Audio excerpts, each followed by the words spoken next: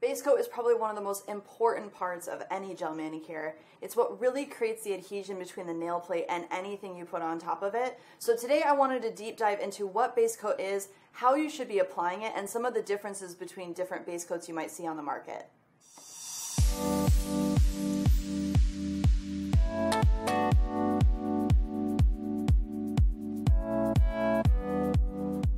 Hey guys, I'm Liz from the Nail Hub.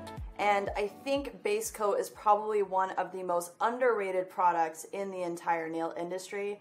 When it comes to doing any type of gel service, base coat is probably the most important part of any gel service. It's what really creates that layer of adhesion between your nail and anything that you put on top of it a lot of people also write to me saying, How do you prevent lifting? Well, prep is one, but your base is another. And I think this is such an important piece of any service that I wanted to go over it in great depth.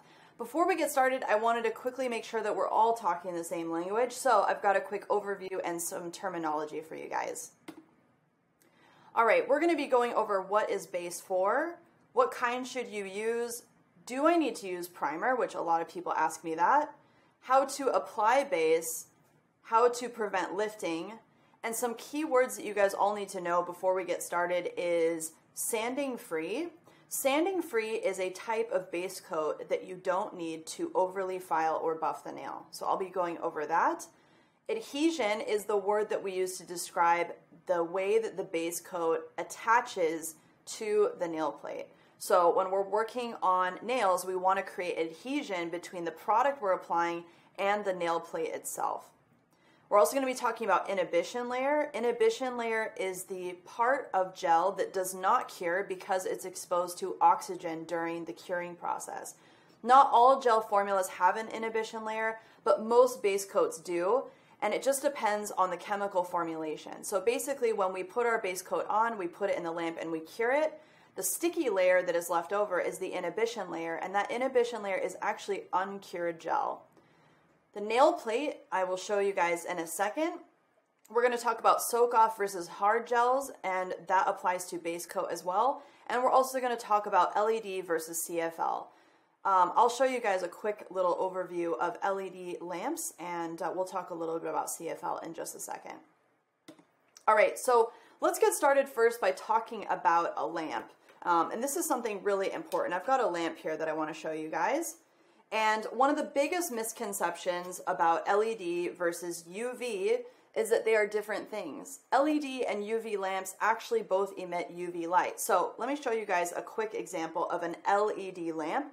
LED stands for light emitting diode, which are these little bad boys right in here, and they're basically a type of light bulb. So if we think about light bulbs inside of a lamp. You may have also seen lamps that have tubes, like white tubes coming out that are light bulbs. Those are actually fluorescent lights. So that's where we get the CFL, which is cool fluorescent, or it could be CCFL, which is cool cathode fluorescent. And basically, they're those fluorescent tubes of bulbs that we need to replace every so often. The advantage with LED is they never have to be replaced, and it's also a much more focused type of light because it's almost like if you were to think about LED as little laser beams of light shooting into the gel. When we're talking about CFL bulbs, it's kind of more of an ambient glow and it cures the gel from the outside in. So that's why we're able to get away with much faster cure times with LED. It's a much more focused type of light. There's also little teeny tiny mirrors inside of the LEDs that allow us to focus that, and of course the reflective surface inside of our lamp. Um, there are some base coats that are LED only, which means they will only cure in a certain spectrum of light. And remember, when we're talking about LED versus UV lamps, the misnomer is that we think that LED and UV are different things. Both LED and CFL lamps, which are most commonly called UV, are actually all UV lamps.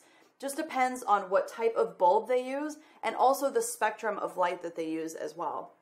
Um, the spectrum of light uh, is split on the visible spectrum really close to ultraviolet. It's actually still visible, but it's very, very close to ultraviolet. That's why we call everything UV. And, uh, and some gels are only cured in a certain part of that spectrum, and other gels are actually cured in the full spectrum or on another end of the spectrum. So recently, we've also had the development of lamps that are hybrid. So, like this Kokoist Infinity lamp I have here is an example of a hybrid lamp It says LED and UV, which again is just manufacturers trying to address the fact that a lot of people in the industry don't understand the difference between LEDs and fluorescent bulbs. Um, but essentially, this is a UV lamp that cures the full spectrum of light and will allow me to cure both traditional UV only gels as well as LED gels, which is really nice. And typically, the hybrid lamps also cure everything a lot faster because it has that LED bulb that has that, that focus type of light that really gets down in there and cures everything from the inside out. So, much better curing, much faster curing, um, but just wanted to clarify that for you. Okay, so let me um, switch over to my tabletop here. Okay, so I'm going to start with um, a non-sanding base coat. And remember, non-sanding is basically a type of base that is such a thin consistency and the formula is so specialized that we really don't need to buff the nail plate or file the nail plate. Now, does that mean you can just put it on a nail plate without prepping or cleaning at all? No but you definitely do not have to etch the nail plate or file it or rough it up in order for this base coat to be able to adhere to the nail. So that's really nice. Um, this particular one comes in a pot, which I'll show you guys in a second how to apply potted base coats. And, uh, and you can see it's got just a clear consistency, a teeny bit yellow, but we don't really care because it's base. And it just all depends on the chemical formulation of the base coat. But this particular one is, um, is a non-sanding base coat. Okay, then we've also got kind of more of a typical base coat. A lot of you guys have probably seen base coat that comes in a bottle like this, and it's got kind of a medium gel consistency to it. It is a soak-off base coat, and again, um, on here it says UV LED soak-off base gel. Um, so this is just a bottled version of a different type of base coat. There's also base coats that are a, a, hybrid between, for example, okay, so let me show you guys kind of a, a protein bonder. Protein bonders have become very popular in the gel industry because they create even more adhesion than just base coat alone. But there's some disadvantages to that. One is if you use a protein bonder, it's going to be much more difficult for you to soak off the gel nails um, if you're looking to soak off gel polish manicures. Um, and also, it does create a layer between the nail plate and the base coat itself. So if you overdo it with your protein bonder, you can actually create a layer that's too thick for the base coat to actually attach to the nail plate, and that can cause some problems. Advantages of protein bonder, it definitely hides fill lines, and it also creates that extra adhesion that I was talking about. So there are some base coats that are kind of a hybrid between a base like this that's just gel and also a protein bonder. And TAC is one of those. So TAC is actually a product that is part gel and part kind of protein bonder. It also, based on what I smell in it, has a teeny bit of acid primer in it as well, just a teeny, teeny bit. I can smell it. Um, and, uh, and it's very, very thin. So I'll show you guys. See how there's like really no there's really no, and you can see it like bouncing around in there, the liquid, okay? So gel wouldn't do that. This is more of a liquid type of base, and it does air dry. So if I put it on my nail here, I've got oil on my nail, but it will air dry without me putting it in the lamp. You can also cure this particular hybrid type of base coat to create extra adhesion. So basically what that does is it cures the gel agents that are inside of it, and it also air dries at the same time, so you get an extra tacky uh, type of surface to put your gel on top of. So this is why it's called kind of a bonding agent, but you can also use this as a base coat. So there are some like this on the market that are kind of in between a base like this that's just gel and also a protein bonder that's pure liquid. Okay? And then there are also products on the market that are all-in-ones. So typically with gel services, you're going to have a three-part service, which is base, color, and top coat. Um, some gels that are out now are also one-step gels, which I have several examples of. Um, but there are one-step gels out there that allow you to do all kinds of stuff. This one in particular is a hard gel, uh, but there's also, like we've got one here. This is also a one-step. Let me just show you kind of what that looks like. Okay, so usually one-steps are very thin because they're meant to be used as base builder and top coat. um, and it's kind of like multi-purpose. These two are hard, which means they cannot be soaked off with acetone. But there's also, and forgive me for the jar because the jar is different than how it looks, how it's supposed to look, actually. Um, this is actually soak off. So if I didn't know what was in these jars, right? How the heck would I know which one is hard gel and which one is soak off? This is the soak off one. This is the hard gel. So if you look at them, it doesn't necessarily mean that the soak off is going to be any different. It just means that this particular formula is going to be porous, which means acetone is going to be able to get in there and break this product apart on the nail plate. Okay, so just depends on what type of service you want to do, whether you want to do soak off, whether you want to do hard gel. I actually prefer hard gel, but I typically put a soak off base under my hard gel, which is another little tip and trick. Okay, so let's get into we talked a little bit about the different types of base coats. Um, I want to get into how we actually apply base coat because this is really, really important. So if I talk about the nail plate for a second, okay? So this is the nail plate, right? It's the natural piece of material that grows out of our finger back here and actually back here, which I'm going to do an anatomy, uh, I'm going to do an anatomy video as well so you guys can get an idea of how the nail plate works. But essentially, this whole area, the whole piece that we put product on top of, is called the nail plate. Okay? And the nail plate grows from back here. We've got an area called the matrix in our finger, and that's where this nail plate material grows from. Now, I do have a little bit of base gel on my natural nails. I always keep base coat on my natural nails why? Because I don't want to touch my natural nail multiple times. I like to leave my natural nail alone, and even if I'm doing soak off gel, hard gel, anything, I typically will file down to this layer and I leave a little bit of hard gel or soak off gel or whatever I'm using on my nail plate. And it just keeps my nail plate protected at all times. But I can still show you guys exactly how to apply this. Now, you would do all of your cuticle preparation and everything, which you can see my finger is nice and clean. And I'm also going to make sure that I remove all the oils off of my nail, which I did put lotion on this morning, so I'm to make sure I clean that off. Okay, so I'm using a wipe with some rubbing alcohol, and I do mix a little bit of acetone into my rubbing alcohol to really help with the dehydration. I'm to do a full video on nail prep, but for now, I want you guys to just see that I'm cleaning off any of the oils and bacteria that are on my nail. And I'm going to start with the potted base coat to show you guys because this one is probably the most different for a lot of you. With a potted base coat, it's a two part. So you're going to use your gel in the pot and you're also going to use a brush. Um, and brushes, really, you just want to look for a typical gel brush. Um, this one is a round brush, but there's also square. Um, there's lots of different shapes, and there's also lots of different sizes. This is probably a size four. It's got a little bit longer of a um, of a, a belly here, but I do like this because it's just nice and flexible. And I always leave a little bit of gel on my brushes. So before I start applying on the nail, I want to get a little bit of product absorbed into the bristles of my brush, and I do that by putting a little bit of gel on my brush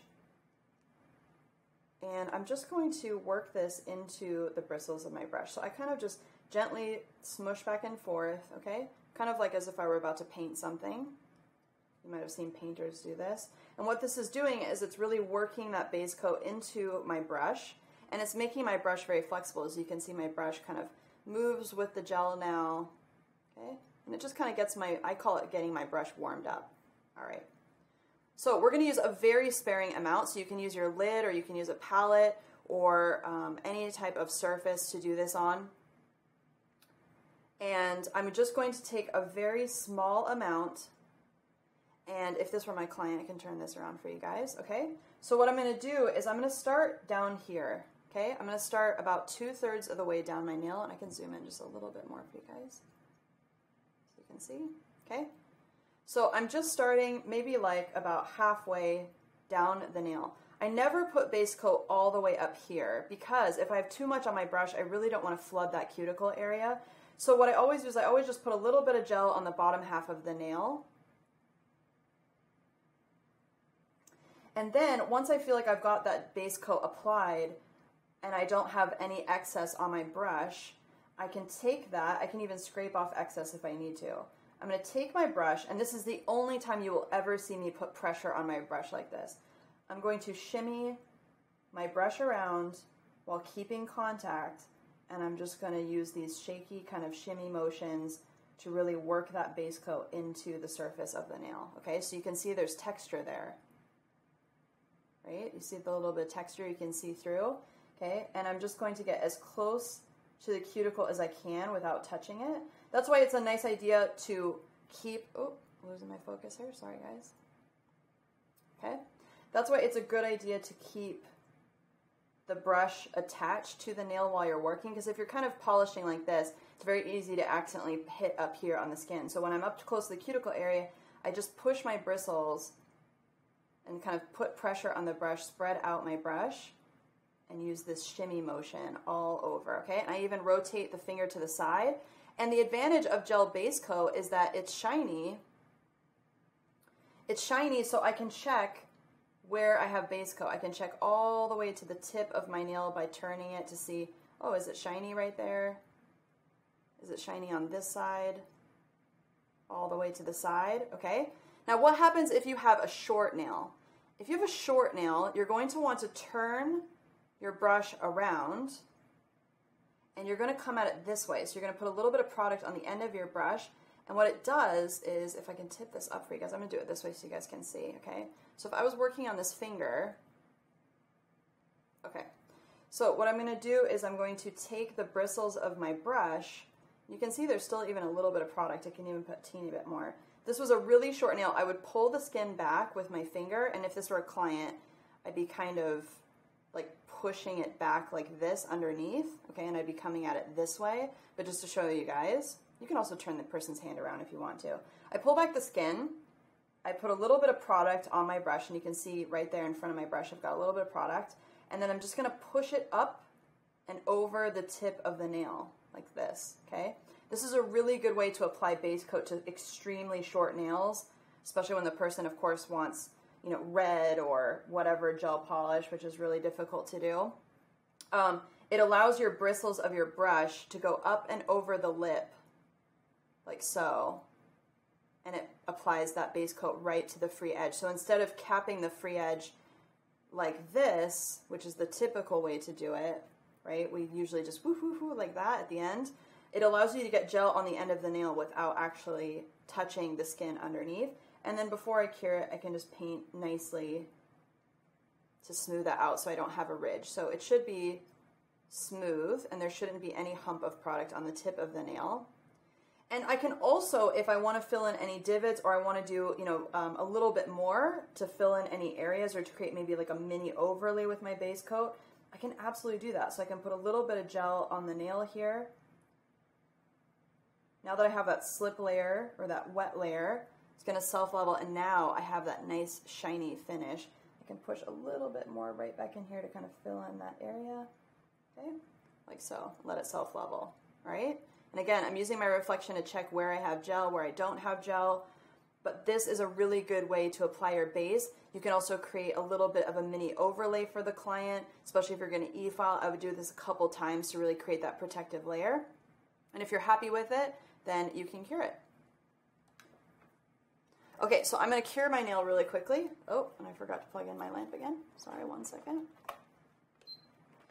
All right, so I'm going to cure that nail, and I think this trick with potted gel is really going to help you guys be able to have control over it, to be able to achieve what you want. But as you can see, I leave a lot of texture and I barely use any product as I work that into the nail plate. That's so important.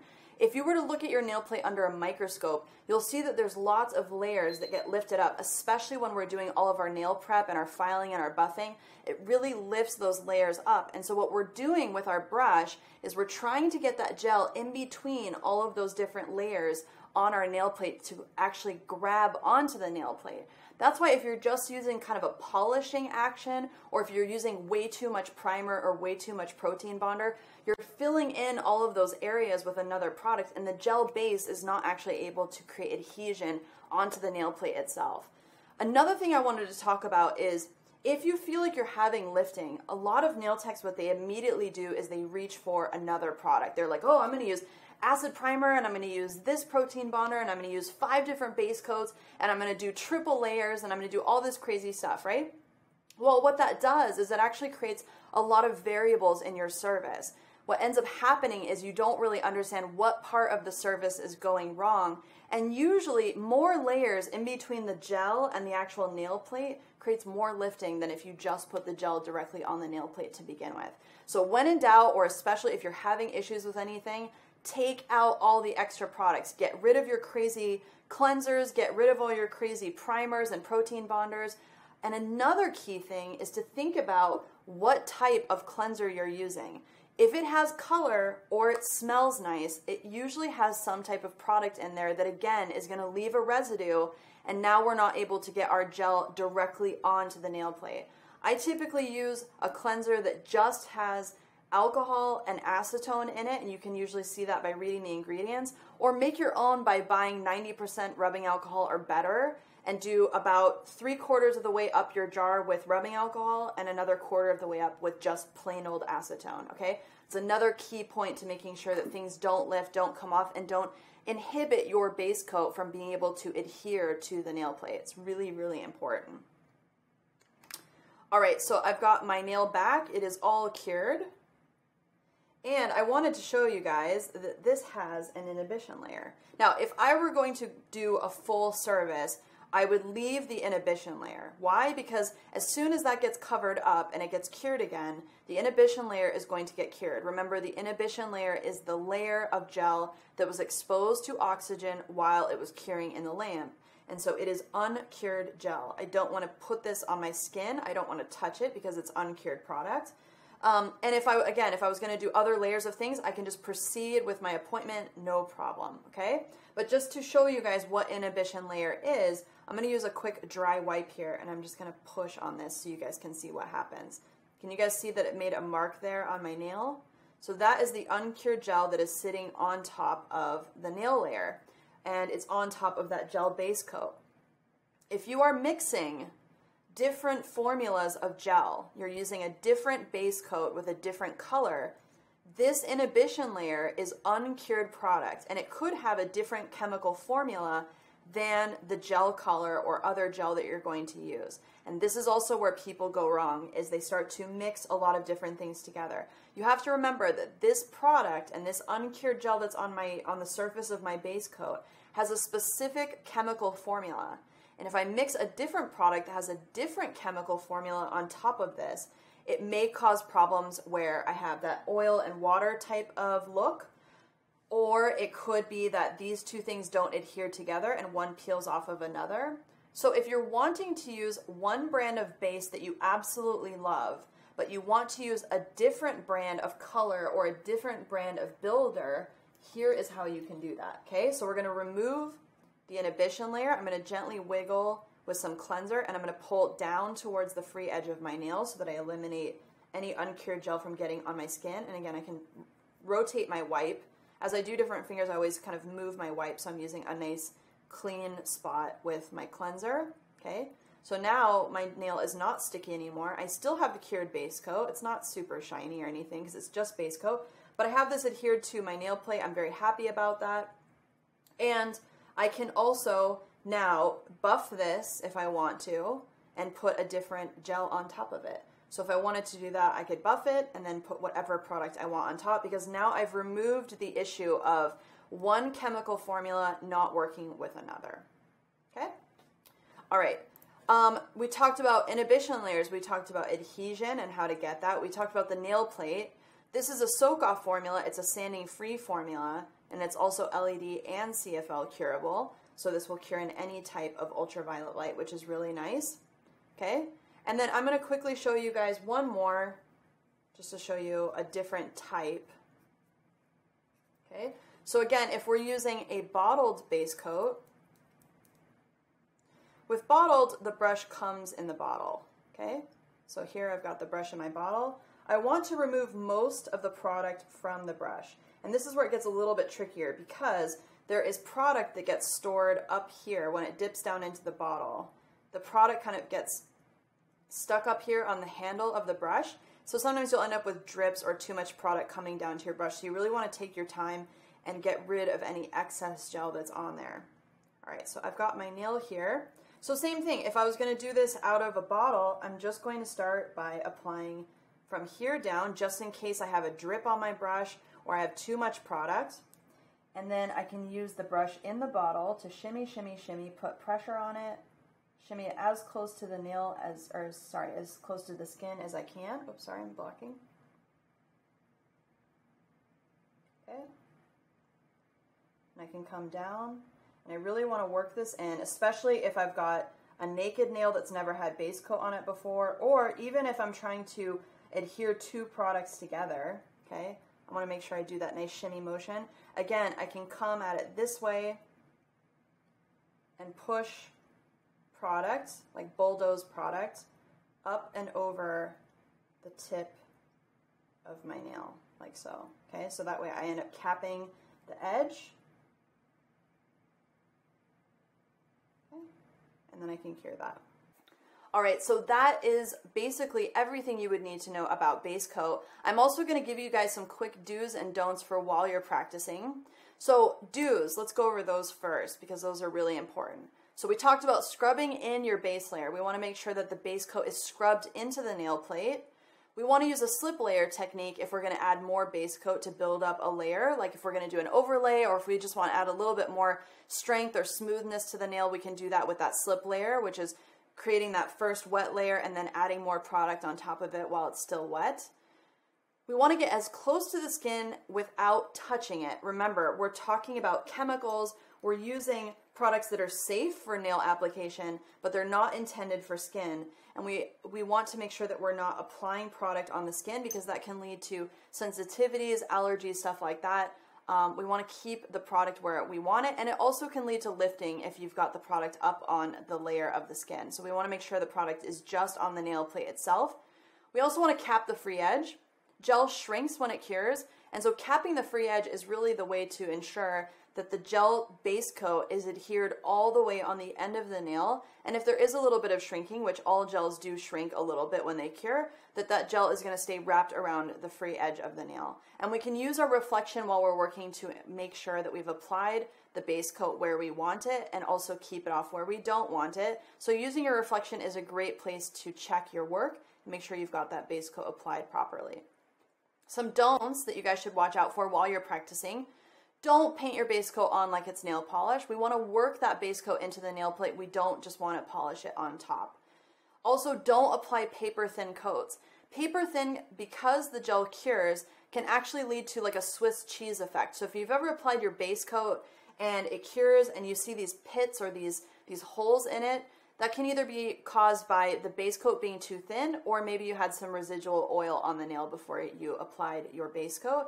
But using that slip layer technique is a great way to make sure that you have enough product on the nail before it goes into the lamp. Obviously, don't flood the cuticle. We want to keep the base coat off of the skin and all products off of the skin. And by controlling the amount that's on our brush, that really allows us to make sure that we're not going to flood the cuticle. And also by starting in the middle of the nail instead of at the cuticle gives us more control. Don't apply your gel blindly. We want to get up close and personal, just like I zoomed in on this video. You guys really want to look at the nail closely, use your light and your reflection to see where you've applied gel and where you haven't, and really make sure that you're looking up close at the nail while you're working. That will help you be much more precise and eliminate a lot of issues as you continue to practice. Don't experiment on the fly with mixing and matching products. Remember, we're using different formulas of chemicals and all different brands and different types and everything have different formulations. So mixing them together without understanding how that can interact on the nail is a big no-no, especially on paying clients. Um, mixing and matching is just another variable in our service that creates unforeseen consequences. So I recommend you guys don't mix and match until you really, really understand more about gel chemistry. It just allows you to be much more sure of your services and to be able to apply them with confidence. So those are my tips and tricks for you guys. All right, so again, same procedure, but this time I'm just using a base coat that comes in a bottle. Again, the same thing is going to apply, which is that shimming motion, putting pressure on your brush, really working that base coat into the nail plate. Um, and uh, and you don't need to use a lot of extra products. I mean, really, you just need to use a high quality base coat will allow you to just use the base coat itself. Um, all the base coats I'm using already contain all of the um, priming agents that you need to have on the nail plate. So really all you need to do is prep the nail plate, get the cuticle cleaned up, make sure there's no skin or debris or oils on the nail plate, and you can go right in with your base coat application. All right. So I hope that helps you guys. I hope that helps you understand a little bit more about the importance of base coat and how it should be applied. And in our next tutorial, I'm going to be talking about nail files, buffers, and all of that good stuff. Um, I'll be going through kind of a little bit randomly about how we can start a service, do all of those different things. But I want you guys to just practice the base coat for the next week. This is really important. Um, I want you guys to just get a feel for how much pressure to put on your brush, how much product to apply. Again, you're going to see some natural texture shining through your base coat, and you can put a little bit more over on that slip layer once you have that worked into the nail plate.